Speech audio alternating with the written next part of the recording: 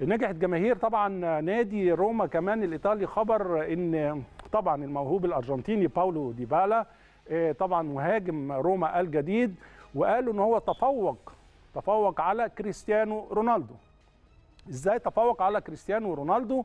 طبعا يعني رحيل ديبالا في الميركاتو الصيفي في طبعا الميركاتو الحالي لنادي روما في صفقة مجانية. بعد طبعا ما انتهى عقده مع اليوفي وبعد حقبة طويلة جدا في صفوف السيدة العجوز قرر طبعا خوض تجربة جديدة في مسيرته في نادي روما مع طبعا المدرب القدير مورينيو. كتبت صحيفة كورييري ديلو سبورت الإيطالية وقالت أن وصول ديبالا الملعب الأولمبيكو دفع مشجعي روما للهتافات أو التهافت على شراء التيشيرت بتاع ديبالا مع فريقه الجديد. ويمكن فضل ديبالا ارتداء القميص أو التيشيرت رقم 21 رفض رقم 10 طبعا وهو الرقم الأسطوري ليه طبعا فرانشيسكو توتي طبعا نجم إيطاليا ونجم روما. طوال رحلته مع النادي الإيطالي. طبعا أشار كمان إلى نجاح ديبالا في التفوق على مبيعات قميص رونالدو في يوم الأول في إيطاليا.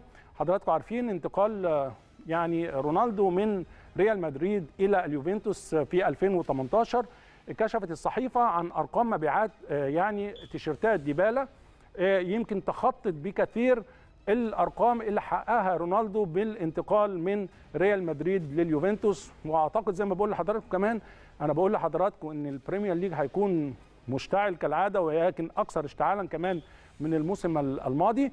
لكن كمان بوعد حضراتكم وهتشوفوا ده إن كمان ال Serie A الدوري الإيطالي كمان هذا الموسم أو الموسم القادم خلاص خلال أسابيع قليلة هينطلق كمان الدوري الإيطالي هيكون دوري قوي جدا جدا جدا.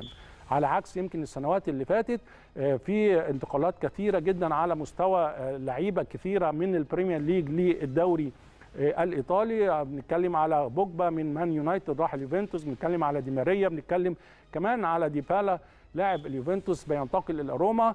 يمكن الدوريات المشتعلة قريبا في أوروبا ونستمتع من جديد بالدوريات الأوروبية.